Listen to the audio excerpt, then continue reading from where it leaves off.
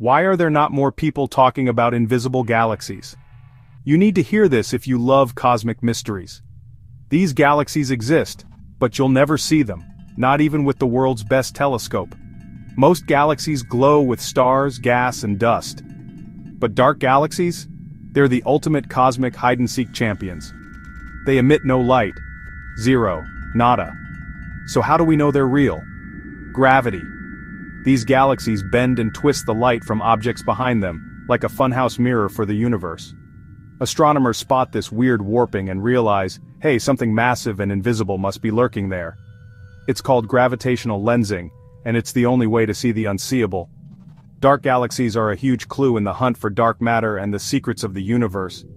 So next time you look at the night sky remember, some galaxies are hiding in plain sight. Science fans, keep your eyes open. Even for what you can't see.